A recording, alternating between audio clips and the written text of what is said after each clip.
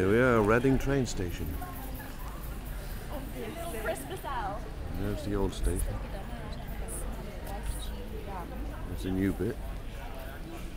Development still going on.